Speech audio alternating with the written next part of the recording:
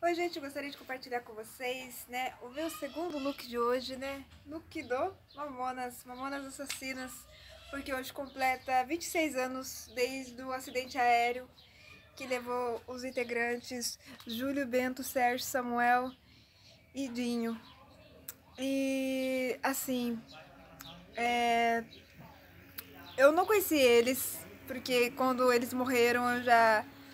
eu ainda nem havia nascido, mas faz parte da minha infância, uma homenagem até pra minha mãe, porque minha mãe ela adorava Mamonas Assassina.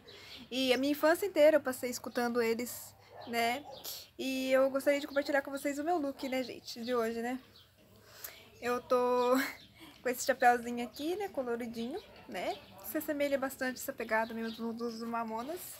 Essa blusa listrada, esse shortinho curto, porque se assemelha muito ao Dinho. O Dinho é o meu predileto, né, do, do grupo, né?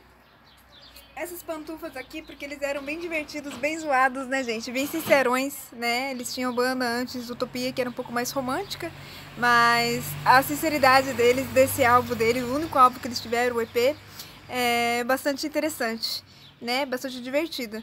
E é isso, né, gente? Espero que vocês gostem. vou estar tá curtindo aí esse EP deles, as musiquinhas. E é isso. As musiquinhas deles, né? E é isso.